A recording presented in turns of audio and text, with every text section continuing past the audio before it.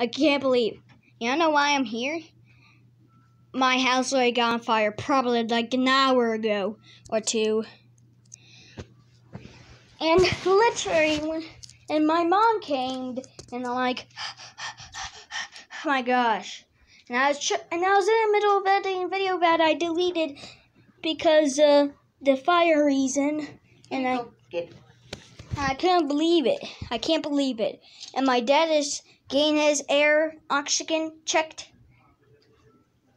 And I got as much as I can. And also I have a Super Mario 64 emulator just to keep me not bored to death. Because I barely ever net in this area and accidentally chipped off some of my Joy-Con right there. See that little black spot? Yeah. I accidentally dropped it and I was like and when I when I got out I was literally help. I was like and yeah. And I can't believe it. And I couldn't believe it.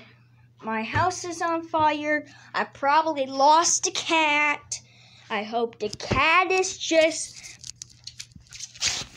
down there or down in the object or uh the basement. And please guys this is just a moment right now. You know why i'm wearing this hat? This is my dad's hat. Also i show my hair and you don't really see me in glasses and don't really see me in in this shirt because this is how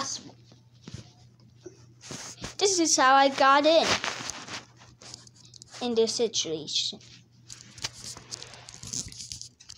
It all started when the upstairs. oh, fire! Ah! Ah!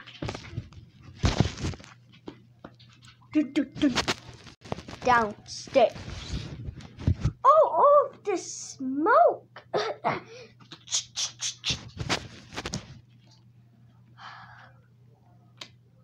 oh, smoke's coming. Our washing area. Uh, looks like I gotta go outside for that door. Ten. Hmm. Oh my gosh, the fire. 911. Yes, yes, we got emergency, blah, blah, blah, blah.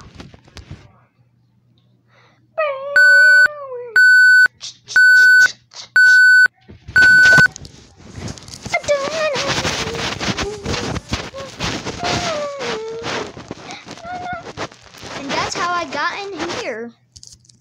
There's the story. And please pray for our cat.